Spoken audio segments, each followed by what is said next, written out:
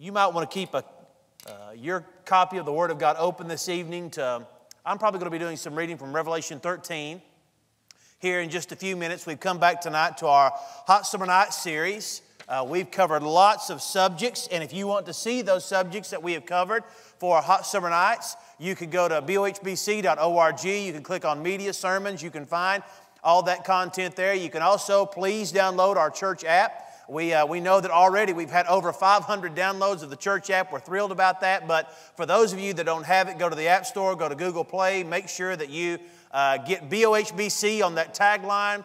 The uh, app will come up. Download, download that to your phone. You'll find lots of content there on the app. If you're to go in there tonight, on the home screen of the app, you'll see a section for sermon notes. You'll see the, the notes, the entire uh, note section of this message tonight there on the app. And so please make sure you take advantage of that. Uh, you can also, when this sermon is over with, find downloadable copies of those notes attached to the message. You can, e- you can make notes on those yourself and email them to yourself. So please take advantage of the opportunity that we have there tonight for you to have these notes at your disposal. They're under hot summer nights. Tonight we are talking about the mark of the beast. The mark of the beast. I bet that most of you have heard throughout your life in the church serving the Lord about the mark of the beast. What does that mean? What's that going to be like?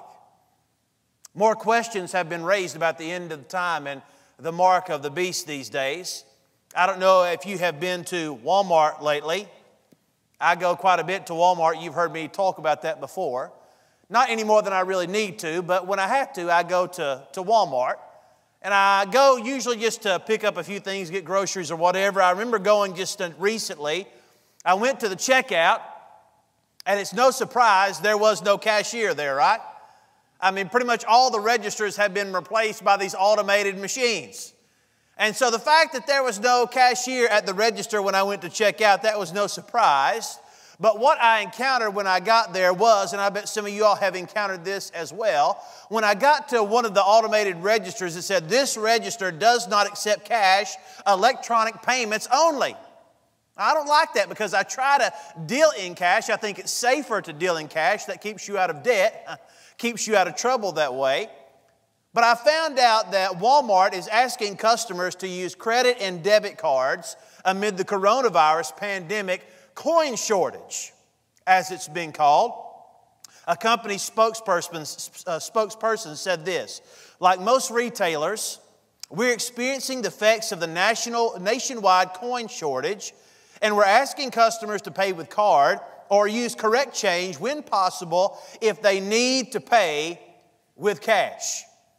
So use your credit card, use your debit card, use exact change if you have it.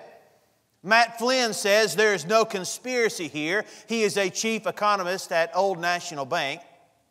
He says it's simply another effect of the coronavirus. According to Flynn, there is about $48 billion of coinage in the United States, and right now, those coins are hard to find. So if you've been collecting the coins at your house, please do us all a favor, take them, cash them in at the bank, and get them back in circulation.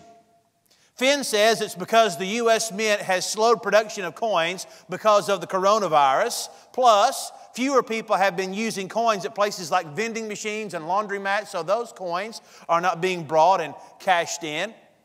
Economists hope that when the country opens again and businesses get back to normal, the problem will fix itself. But he says, until that happens, it can actually get worse.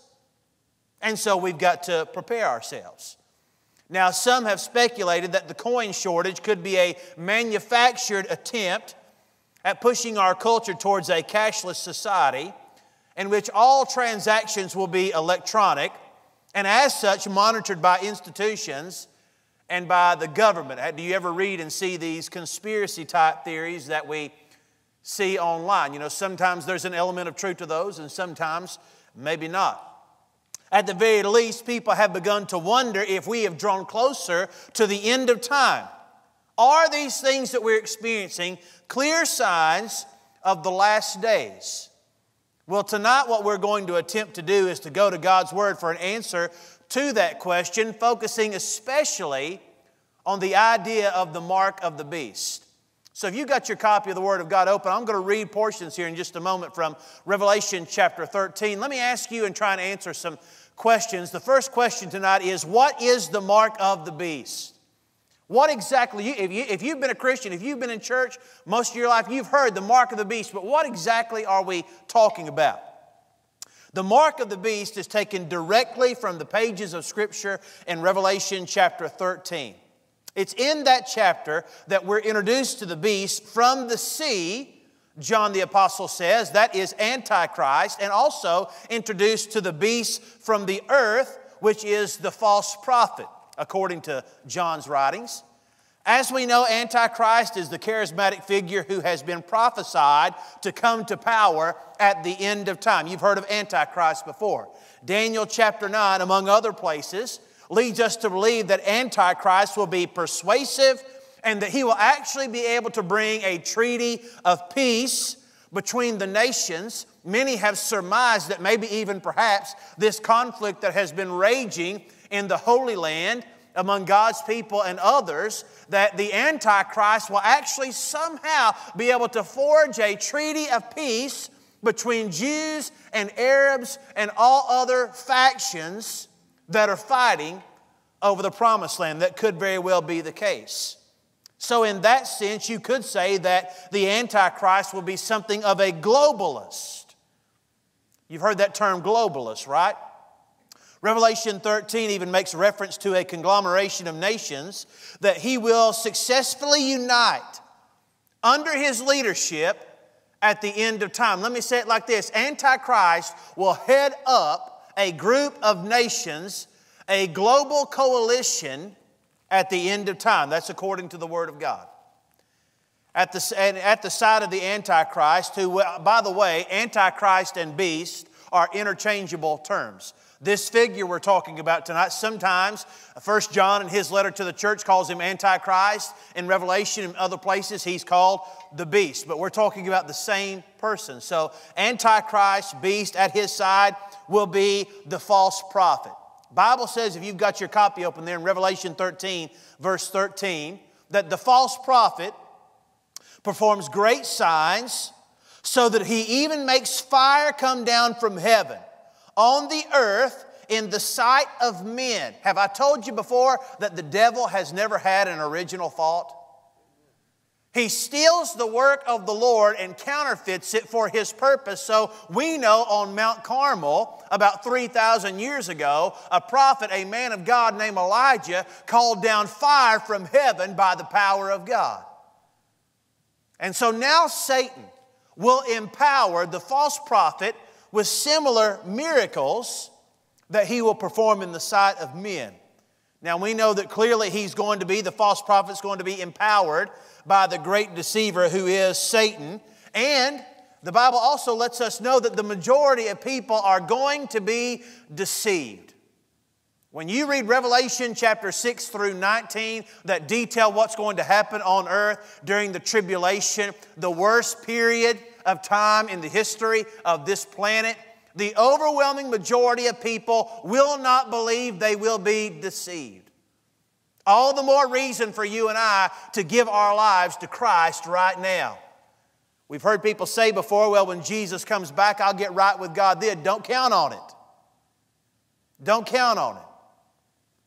Get your life right with Christ now. Place your faith in Jesus right now. Revelation 13 16 says this He, the false prophet, causes all, both small and great, rich and poor, free and slave, to receive a mark on their right hand and on their foreheads.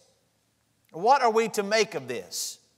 The Greek term here in the passage that is translated in my copy of the Word of God as mark is charagma, and it means a stamp or an imprinted mark.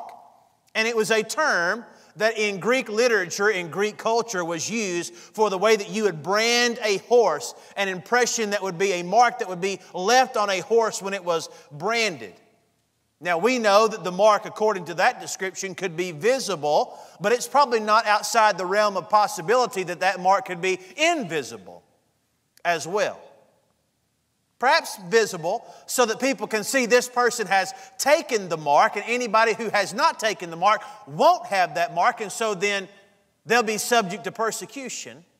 The Bible doesn't eh, say exactly what the mark will be like exactly, but we do know that the mark will be apparent, and that based on that mark, a person will be treated well or they will be treated terribly. So that's the mark of the beast. Now, number two, what is the purpose of this mark that we're talking about tonight? What's the purpose? The Apostle John continues in verse 17. He says, No one, and that means no one, may buy or sell except one who has the mark or the name of the beast or the number of his name. So clearly, the purpose of this mark of the beast is coercion. Either you will submit to the beast or you will be denied the basic ability to live. Now, some New Testament manuscripts, as I was studying for this message, I found out they say in this passage that the name of the beast is actually the mark of the beast. That by taking the name of the beast, you're actually taking the mark. In other words, if you don't bear his name or his number, you will be denied the right to survive. That's what we're talking about. If my timeline is correct, when Christ comes back, when he raptures the church, when they meet the Lord in the air, and this world is left to the tribulation, if you don't take the mark of the beast, you will not be permitted to do anything. You will be subject to persecution that is called coercion.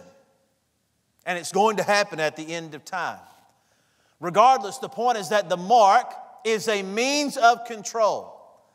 During the days of Antichrist, the days of what we would call the Great Tribulation, individual liberties will be forfeited to the Antichrist and his minions. Now, I think that we as Americans, we have a special idea of liberty. We have a unique and special idea of freedom because what other country on this planet has worked and labored and given blood, sweat, and tears so many times over and over to ensure that not only its residents have freedom, but residents of other countries have freedom? We are blessed in the liberties that we enjoy as citizens of the United States of America. But what I want to say to you, I'm certainly not a prophet or a son of a prophet like Amos said, but I do see every day that there are folks that are encroaching on our civil liberties. And you and I need to be mindful of that. I want to say to you tonight, sir, ma'am, there are men and women that for decades and centuries have fought for the right for you to be free today. I would encourage you don't go handing back the liberty that others fought so hard to give you. We need to be careful about that. People have bled and died so that we can be where we are here today. At the end of time, though, you will be coerced to give away your liberty into the hand of the Antichrist. Number three, what is the number of the beast? We've talked about the mark of the beast, but what is the number of the beast? John the apostle, apostle answers the question in chapter 13, verse 18. He says, Here is wisdom. In other words, get your thinking caps on. Let him who has understanding calculate the number of the beast, for it is the number of a man. His number is 666. Now, what in the world are we to make of that? John tells us here in verse 18 it is the number of a man. We know that could be understood in a couple of ways, and both of them, I think, in this case, could be true. Both understandings I'm going to share with you. First, 666 is the number of a real man. In this case, we're talking about the Antichrist or the beast or whatever you want to call him. The Antichrist is not the figment of someone's imagination. This is not just figurative concepts that we're talking about tonight.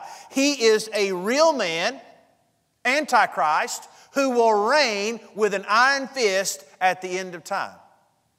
Sometimes people, when they you know, there's a whole science of what we call hermeneutics. That's biblical interpretation. And sometimes when people come to the revelation, the reformers fell into this camp. They said everything is a picture, everything's an allegory, nothing can be taken literally. Well, in this case, no. Even though we're using symbolic, even numerical language in this passage, it has a real meaning about a real person, about a real man whom we call Antichrist that is going to be revealed at the end of time.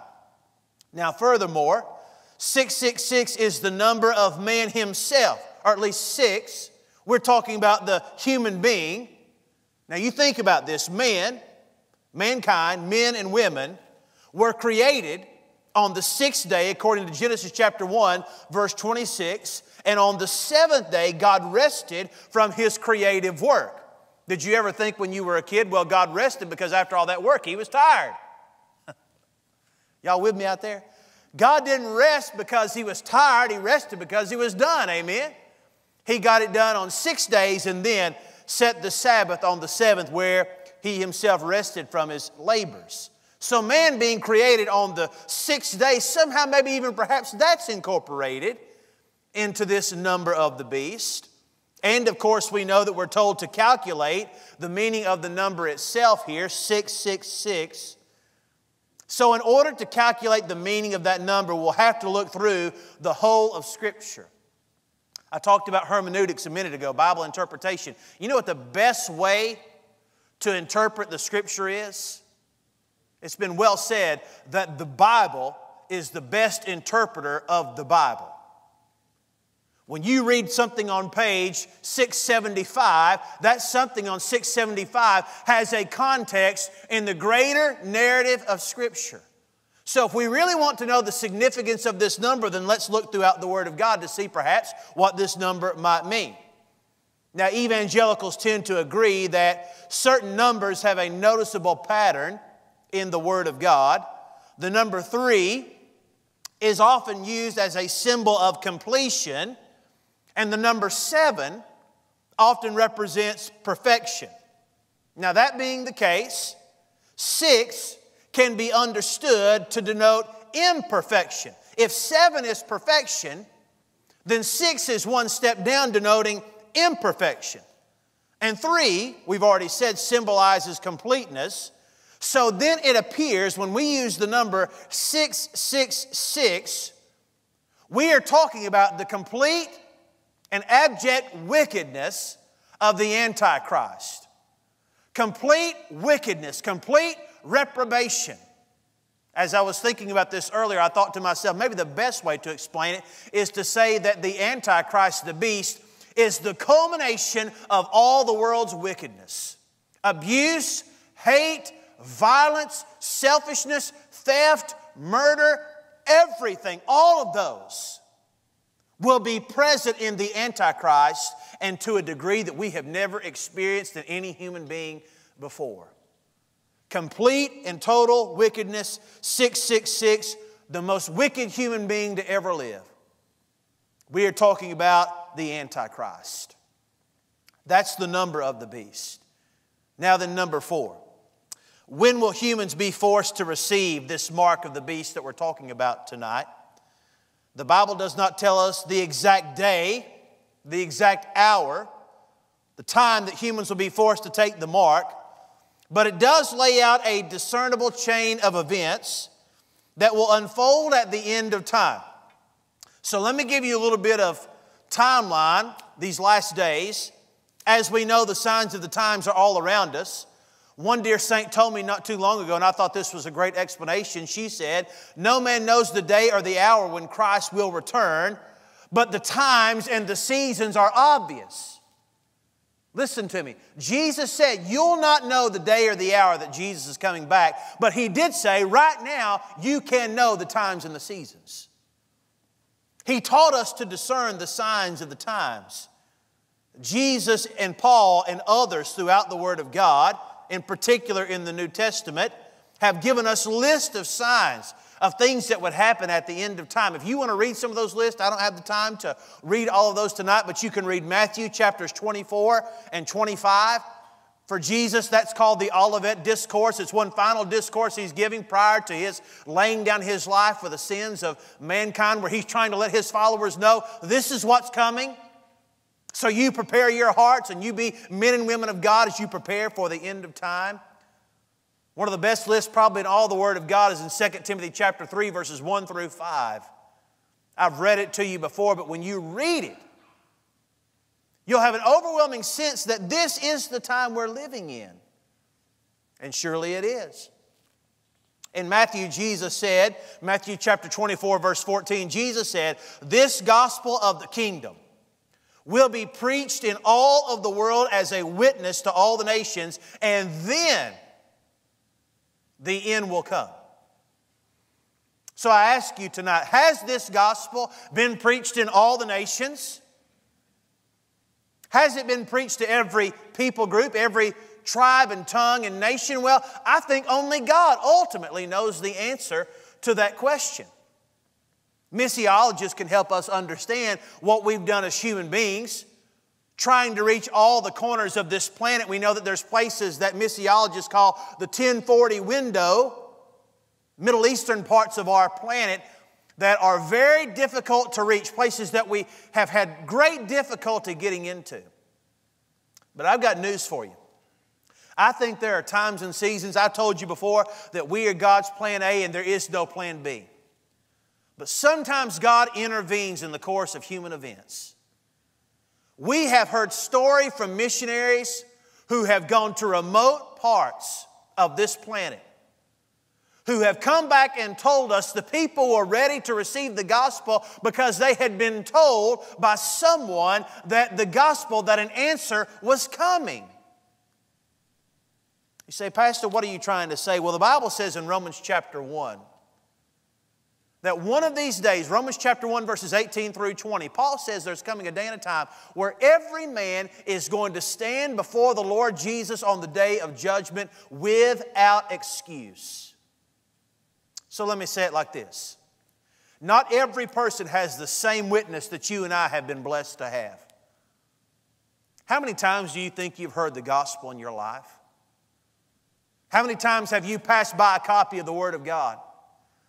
How many times have you listened to a pastor or an evangelist or somebody else on the radio or on television sharing, communicating about the gospel of Christ? Many of us have had thousands upon thousands of opportunities to hear the gospel and come to faith in Christ. Some people in the course of their life may not have barely one opportunity to come to Christ, and some would say zero. Some people have zero opportunity. You say, well, how do you square that with the Lord sending people to hell who never had an opportunity to receive Him? I believe, based on the testimony of the Word of God, our Lord will give every member of the human race sufficient witness of Himself so that they could place their faith in God. And one of these days, if they have not placed their faith in God, that responsibility will rest on them. But all the more urgency for you and I who have received the gospel so often and so well, not to keep it to ourselves, but to go and take it to the nations. Because there are still people who have not heard. All the more urgency for us sharing the gospel with others. Has this gospel really been preached? worldwide, to every person, to every tribe? Well, only God knows the answers to all those questions. But we do know this at the very least, we know that this gospel that I'm preaching to you tonight, this gospel that a risen Lord Jesus Christ has been preached on every single continent on this planet. Everywhere. And we're praying that it continues to encroach inwards into all parts of every continent so that more and more people have a greater and greater opportunity to come to faith in Jesus. So then, Jesus said this gospel would be preached all over the planet in, in all nations. So, what are we awaiting right now? We are awaiting the time where, according to what the Apostle Paul said in 1 Thessalonians chapter 4, a trumpet is going to blast, a shout is going to be declared from heaven the voice of the archangel is going to cry out.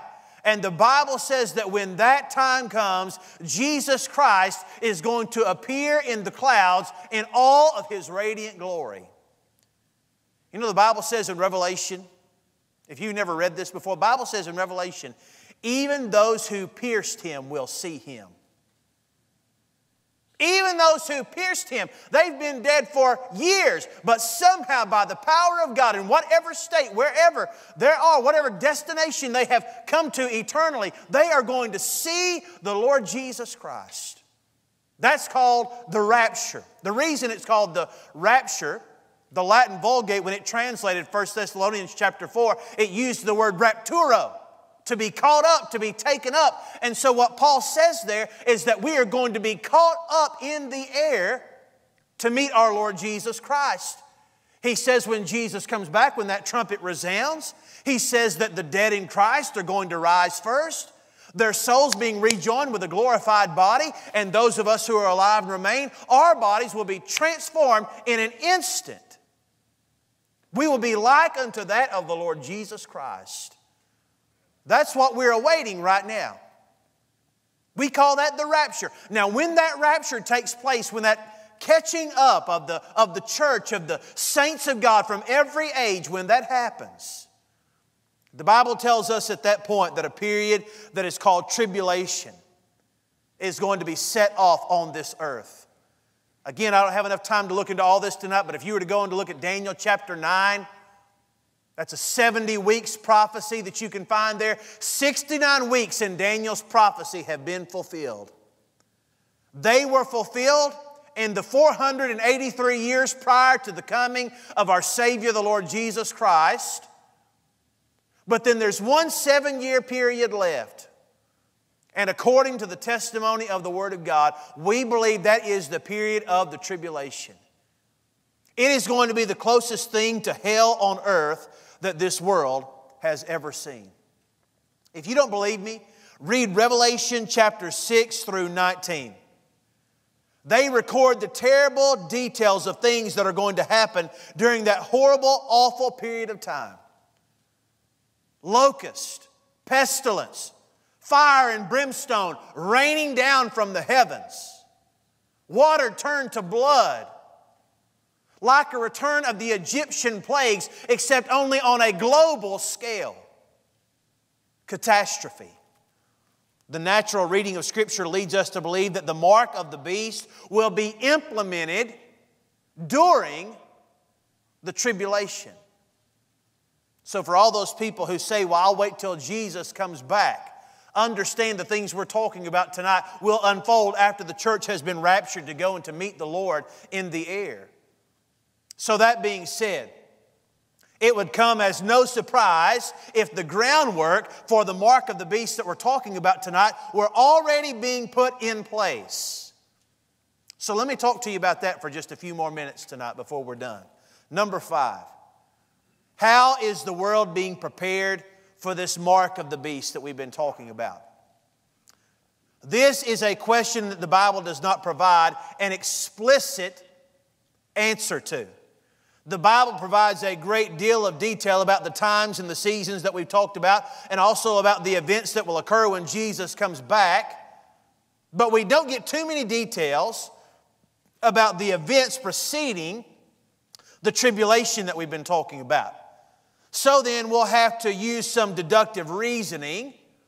Revelation chapter 13 leads us to believe that Antichrist will lead a confederacy of nations at the end of time. Antichrist is going to rise up, he's going to come to power, and he's going to join a confederacy of nations, world powers, together. One of the last bold judgments you can read about in Revelation 16 tells us that these nations, led by Antichrist, will go to war with Jesus at the end of time. That final battle is called Armageddon, Harmageddo, is the real translation of that, the hill of Megiddo, and it will take place in the valley of Megiddo. Some of you have been blessed enough to go to Israel, to see the land for yourself. If you have never been, one of these days I'm going to get another trip up, we're going to go back. When you stand on the hill of Megiddo and you look out on the valley of Megiddo, it is a perfect setup for a colossal battle at the end of time. And the scripture tells us it's going to be right there in Revelation chapter 16, verse 16. We call it Armageddon.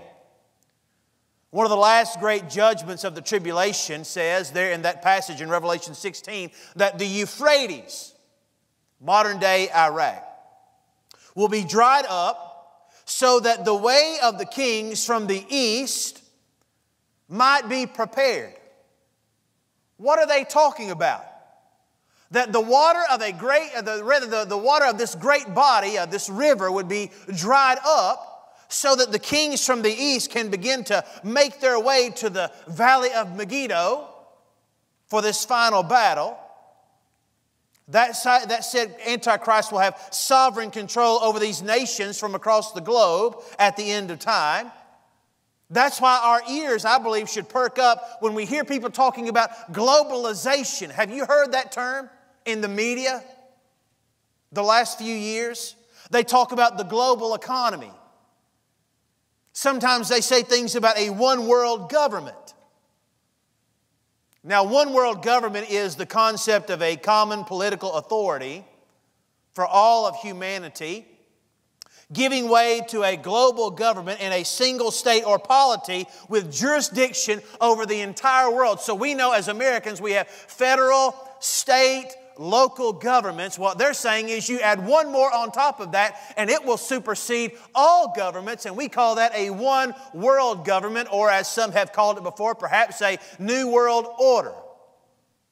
Such a government could come into existence either through violent and compulsory means, world domination, or through peaceful and voluntary supranational unions, political leaders giving sovereignty to a greater sovereign.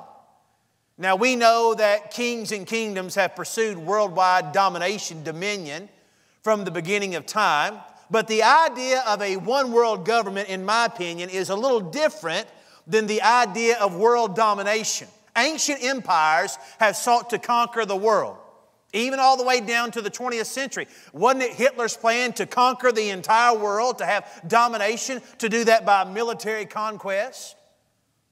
But modern concepts of one world government revolve much more around the voluntary creation of a single entity that would essentially remove the need for all other governments, the ones we talked about earlier. Advocates of one world government typically seek consent for the new government rather than coercion. They come together, the leaders of this world come together, we believe, and they begin to put the wheels in motion. You say, well, how long have people been talking about the possibility of a one world government? Can I give you a voice of one of our past presidents? And I'm not talking about the 90s, I'm not talking about the 60s, I'm talking about the 1870s. Ulysses S. Grant once said, I believe at some future day, the nations of the earth will agree on some sort of Congress which will take cognizance of international questions of difficulty and whose decisions will be as binding as the decisions of the Supreme Court upon us. Ulysses S. Grant said that over 130, about 150 years ago now. H.G. Wells was a strong proponent of the creation of a world state. You've heard the author H.G. Wells before. he argued that such a state would ensure world peace and justice. Rest assured, though, that when a one world government is attempted, it will be in the name of universal peace and justice. One of the great experiments, friend, of the 20th century was socialism and Marxism and communism. And in case you didn't get the memo, it failed miserably. Atheists thought they could construct a system where ultimately all governments would be disbanded and then we would have a classless society, and all together as the human race, we could usher in a utopia. If you believe that, I've got oceanfront property for you in Kansas. Haven't we got the memo that people are wicked and sinful in need of Jesus? Ever since the beginning of time, Adam and Eve, their own children, one brother rose up against another brother to kill him. And they were one generation removed from the Garden of Eden. What makes us think now that we, being all these other generations removed from the Garden of Eden, can somehow, by ourselves, without the intervention of God, make a return to the Garden of Eden? That is the communist pot dream. And every single time it's been attempted, it has failed miserably. And I also have news for you millions of people have been killed through genocide because of Marxist, socialist, communist policies. Genocide. But leaders have said many times over we have a way if we if we create a one world government we can bring in a universal peace and justice for all men for all of humanity there has never been an executive, legislature, judiciary, military, or constitution with global jurisdiction. Never in the course of human history. The United Nations, I know we hear much about them. They are limited to a mostly advisory role, and its stated purpose is to foster cooperation among governments rather than exerting any kind of authority over them. So, what we're saying is that the nations participate voluntarily or supposedly. Now, there are groups such as G20, maybe you've heard about in the media over the course of the past several years. G20 is an association of 20 developing and established nations and entities, including the European Union. So I'm asking you, could Antichrist manipulate these sorts of groups, these sorts of, glo- sorts of global initiatives in his attempts to achieve worldwide dominion? I think absolutely he could. And with the false prophet at his side, all the nations, I believe, will be persuaded to join the rebellion against our Savior Christ. Now, what about international digital ID? I had a man who's a, a leader, a political leader, reach out to me yesterday, whom I love and I respect very much. I am telling you, People are looking at these things. Our decision makers, our leaders are looking at these things. And when you have leaders, when you have important, prominent people calling hillbilly pastors like me and saying, hey, can you help us understand from the Word of God what's going on? The Lord's on the move. What about an international digital ID? Bill Gates, the Microsoft tycoon, is leading an initiative called ID 2020. I don't know if you've read about this or not. It is an attempt at providing digital identification for every person in the world. We are told that identity, quote, identity is vital for political, economic, and social opportunity. They also tell us, quote, for over a billion people, systems of identification are inaccessible. In other words, there are one billion people on this planet who don't have any real meaningful means of identification that's inaccessible information. So, for that reason, since 2016, ID 2020 has advocated for ethical, privacy protecting approaches, they say, to digital identification. They tell us in their own words that new forms of digital ID will allow us to travel, conduct business, access financial and health records, stay connected, and much more. We're also told that biometrics will be used to identify the world's population through projects like ID 2020. A similar product or project details their process a little better the information, by the way, on some of the things that you read about this is sketchy. It's hard to find. I don't think they want to be very forthcoming about what it involves, but some people give us more information. One company said this biometrics are securely captured through fingerprints, voice, face, or an iris scan. Now, beyond biometrics, we're also being told that ID 2020 could be used to help provide vaccinations to the world's population. We've heard a lot about vaccines lately. Bill Gates even hired a company that looked into the addition, you can Google this and find it yourself, the addition of a quantum dot inside vaccines. Let me say that one more time. A quantum dot technology inside the vaccine. They say that the quantum dot will deliver patterns of near infrared light emitting microparticles to the skin that can, when exposed to certain frequencies of light, identify the immunization status of infants. Let me put that in layman's terms.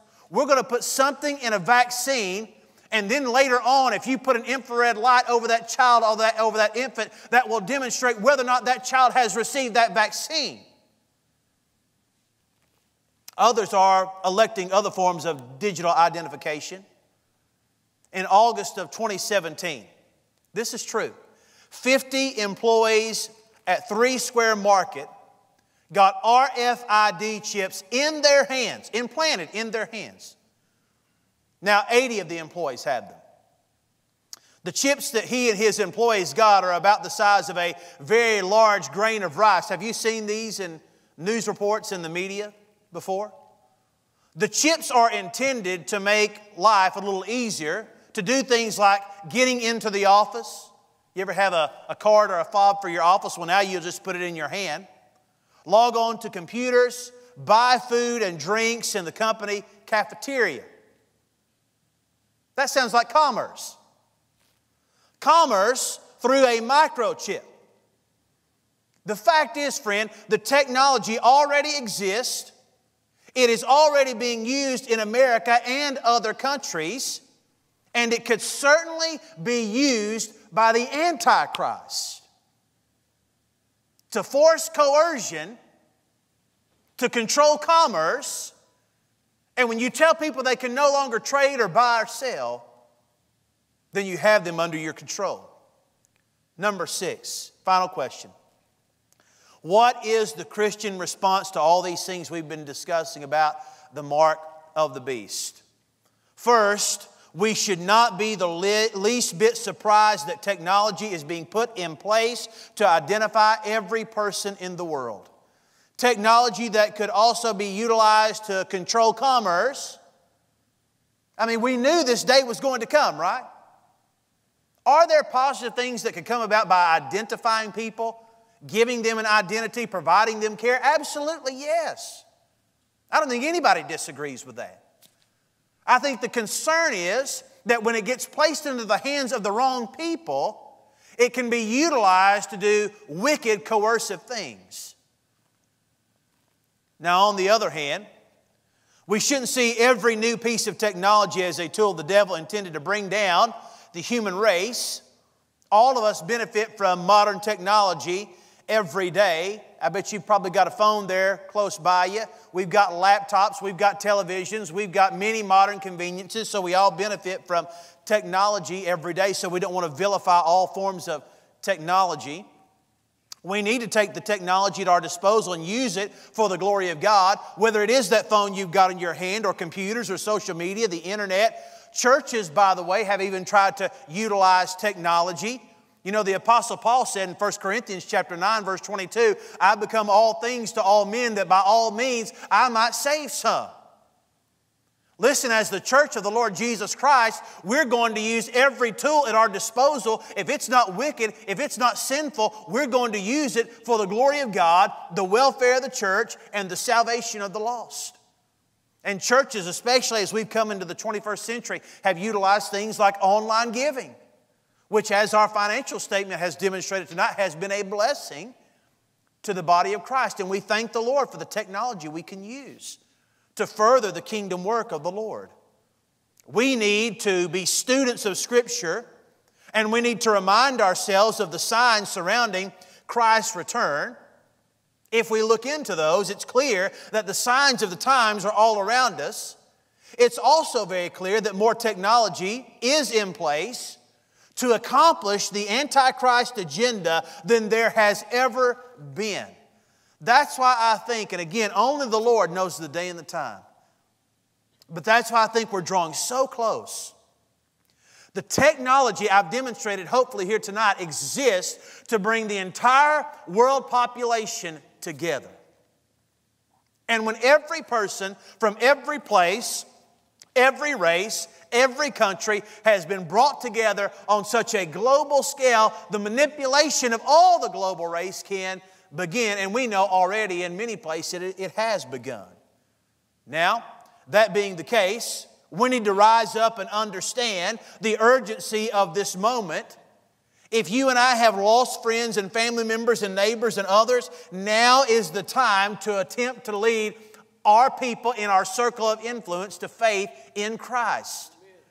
Jesus said in John chapter 9, verse 4, I must, Jesus said, I must work the works of him who sent me while it is still day, for the night is coming when no man can work.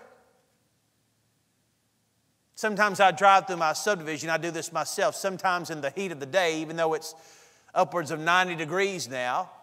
You go outside and you fire up the lawnmower. It'd be much better, it'd be much cooler to do it at night when it might be 75 or 70 degrees outside, or maybe even dipping down to the 60s on some cool summer nights. But if I mowed my yard at night, it wouldn't look so good. See, what I'm saying is, work is supposed to be done during the day, and then when the night comes, the work comes to an end. Jesus said, right now, we are in the day of human history. He said, right now is the time for me to do the work, and I must do the work that my Father has called me to do because the night is coming when no man can work. If that was the urgency of our Savior, that needs to be our urgency as well. Friend, you may not have tomorrow to lead your parent to Christ. You may not have tomorrow to lead your child to Christ. You may not have tomorrow to lead your neighbor to Christ. And even if the Lord tarries his coming, what's any guarantee that you're going to be here tomorrow, that I'm going to be here tomorrow? We've got to take advantage of every moment that the Lord has placed at our disposal. Now is the time, Jesus said. When Jesus comes back, it's too late. Make sure your spouse is ready, your kids, your neighbors, your classmates, all of these. Now is the time. One thing we do not need to do. Sometimes I preach on these sorts of things, the events, Antichrist, all these terrible things, bowl judgments, seal judgments, things that are happening at the end of time. And people come to me sometimes and say things basically like, Pastor, you're scaring me with this stuff. You're scaring me with this. I've got news for you. If you have been born again by the blood of the Lord Jesus Christ, you must not be afraid. When we see currency disappear, and it will. When we see one world authority being established, and it will. When we see people being forced to identify themselves, and they will, what we must not do is be afraid.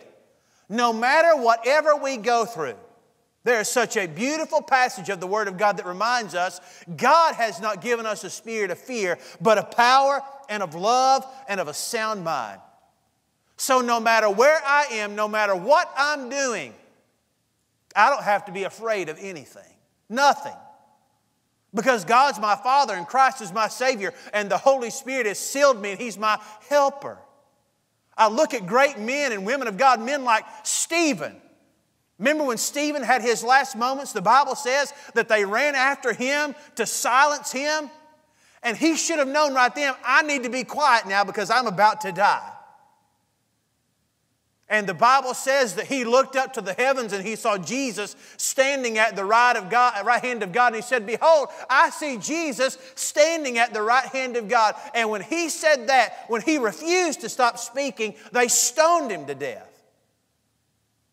But he was not afraid to die because he knew that upon his passing, he was going to be in the presence of Jesus.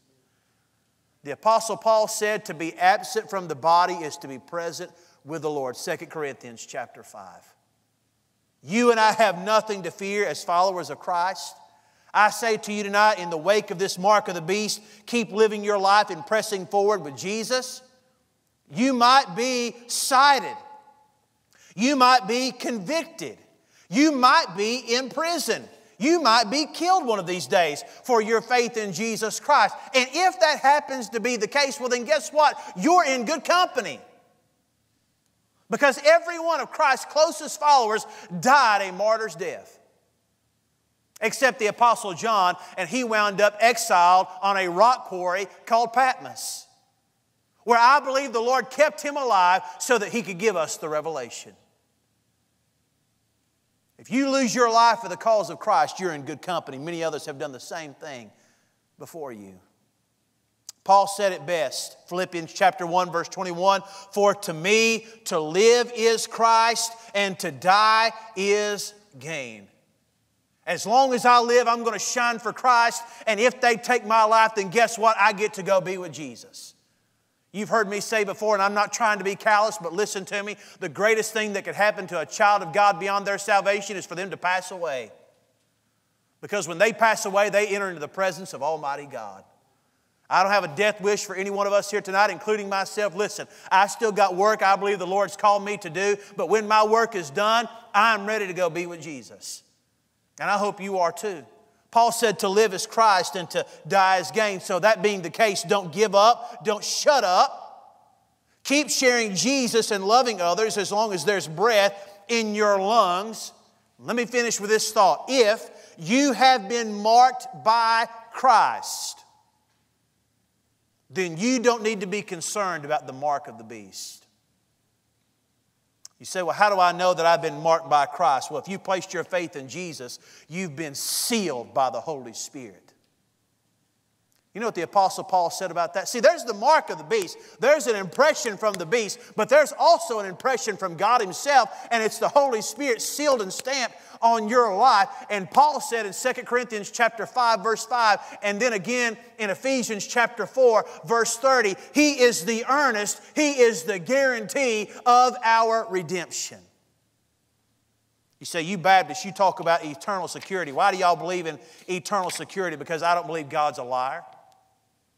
Now, I'm not saying anything about anybody else's faith. If you're asking me, this is why I believe in eternal security. You know why?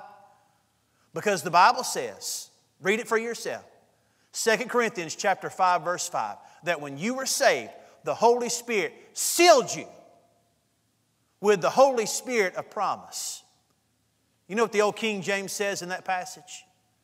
That the Spirit is the earnest. He is the guarantee of our future glory.